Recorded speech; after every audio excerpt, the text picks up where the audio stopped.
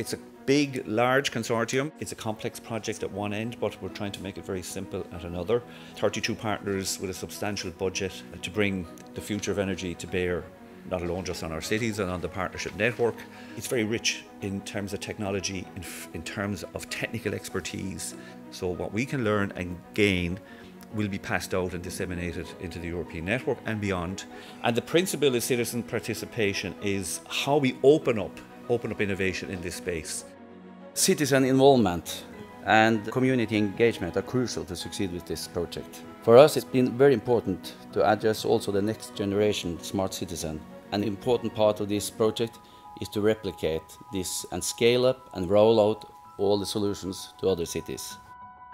We are actually uh, really keen on sharing knowledge because we think then that we actually can move even further forward together to make a, more energy efficient world we are committed to try to find solutions for people and they vary from country to country.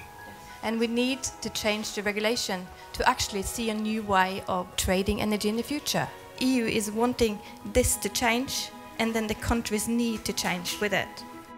We are coming so much closer to actually achieving what we want using much more renewable energy. We are challenging the regulations. We need to look at them. We need to establish an area where we can work with the regulators to facilitate this energy transition. Big part of this project is to boost innovation and create more green jobs. So we are a part, big part of the, the challenge. Then we have to be a part of the solutions.